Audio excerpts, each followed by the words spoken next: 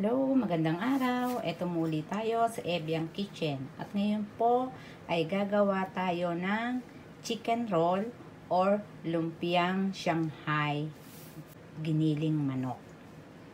So, sa paggawa po ng chicken roll, ito po ang ating kakailanganin. Giniling na manok, carrots, hiniwa ko na po siya ng maliliit. Ginamitan ko po siya ng aking meat grinder. So, eh, at gagamit din po tayo ng sibuyas, celery, hiniwa ko din po siya ng maliliit, at bawang, dalawang itlog, magic sarap, optional po yan kung gusto niyo maglagay ng magic sarap. Pero ako po, naglalagay ako. Harina, 1 spoon, at saka paminta at asin. So, yan lang po ang ating kakailanganin. At syempre po, kailangan po natin ng lumpia wrapper. Ito po. So, tara po at umpisahan na po natin ang paggawa ng chicken roll. Paggawa po ng chicken roll, pagsasama-samahin lang po natin siya. Tingnan po natin ang ating carrots sibuyas, ang ating celery, bawang,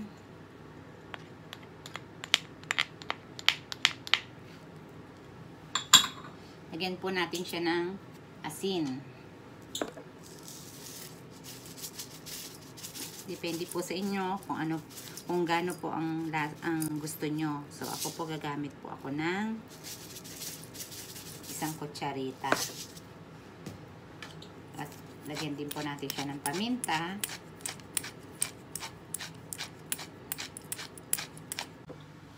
Lagyan na rin po natin yung isang kutsari, isang kutsaritang harina. Maglalagay po ako ng harina para po magbuo-buo siya.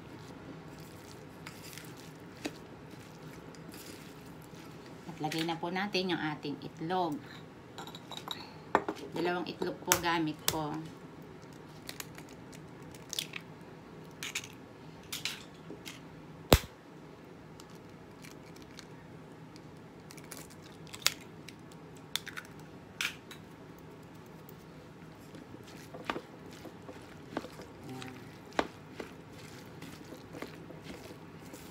itlog po at saka yung harina, siya po ang ang magkakapit sa mga ingredients natin para po siya ay magbuo-buo.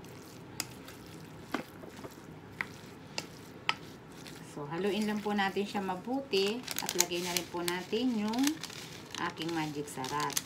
Yung isang ganito po, tatlong gamit ko. Kung mapupunan nyo po, ito po yung pantatlong gamit ko na. Kaya po, tinodo ko na siya.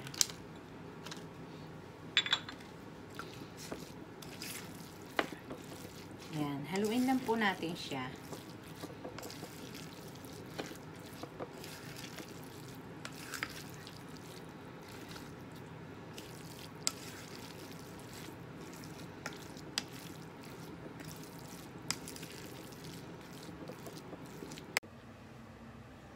So, balutin na po natin ang ating chicken roll. So, ito po yung lumpiang wrapper na available dito sa UAE. Paghiwa-hiwalayin ko lang po yung ating lumpia wrapper. Umpisahan na po natin ang pagbabalot. So, ito po ang technique ko sa pagbabalot. So, lagyan po lang natin siya ng isang kutsari, kutsara. Hindi po natin kailangan da kapalan yung pagbalot ng lumpia natin dahil para po siya madaling maluto. So, pag gumawa po ako is mahaba lang siya pero hindi po siya ganong makapal. Ayan. So, technique ko po sa pagbabalot is ganito.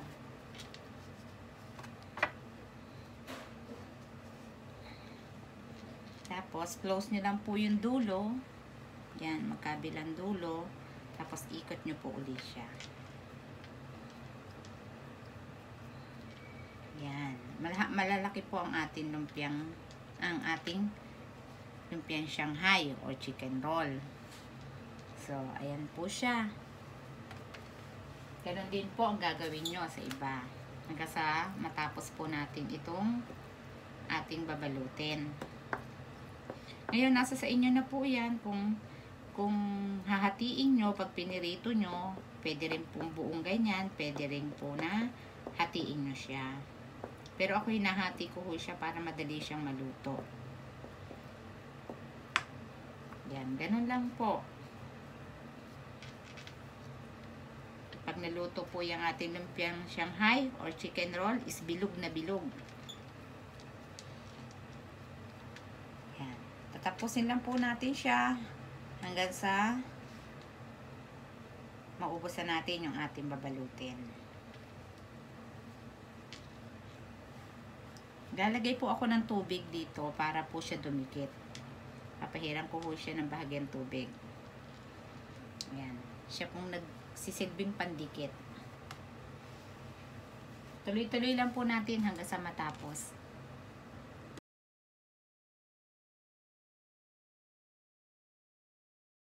Natin lutuin ang ating chicken roll. So, nagpainita po ako ng mantika. Sa medium heat lang po siya. Mainit na po yung mantika. Pwede na po natin ilagay yung ating chicken roll. Hindi ko po siya sa tatlo para po madali siyang maluto. I-deep fried lang po natin siya. Sa ganun paraan po, madali po maluto yung ating chicken roll. Pati yung loob naluluto niya. Kaya ko po siya hinahati.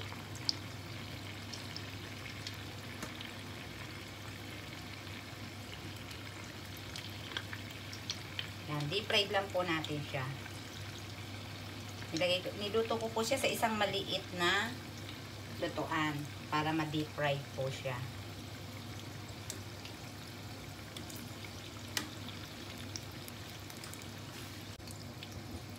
Pain lang po natin na mag light brown siya. Yan. Nag-brown na po yung ating lumpia. So, ibig sabihin po, luto na po siya.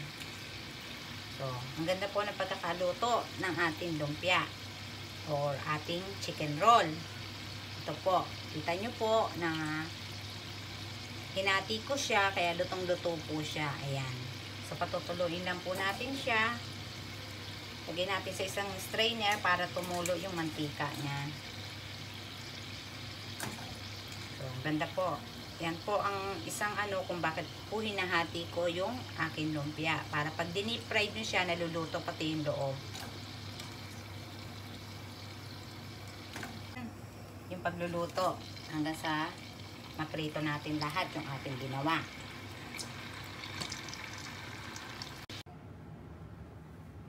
Yan.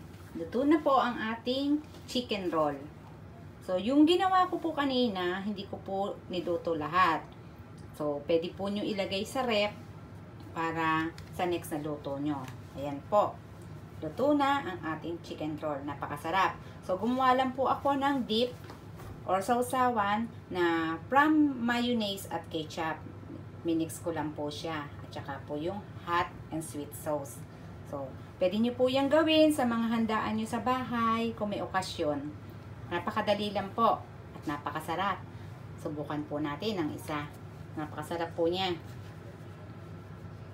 At hindi po kayo magsasawang gumawa ng gumawa nito lagi. Mmm. Napakasarap po. Lutong-luto po siya. Napakasarap. Ito naman po sa isang sausawan. Paborito po ng asawa ko yung sausawan na yan. Kaya ginawa ko. Mmm. Napakasarap talaga. Subukan nyo po. Sana po nagustuhan po nyo ang aking chicken spring roll.